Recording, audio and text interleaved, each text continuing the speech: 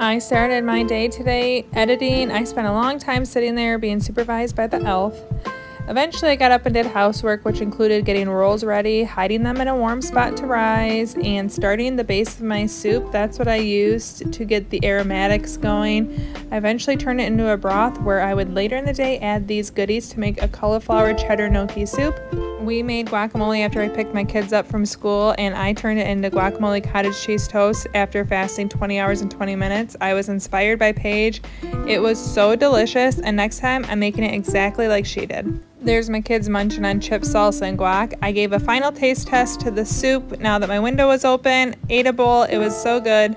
I had sparkling water with LMNT and two Christmas cookies I made last week. My eating window was just over an hour long.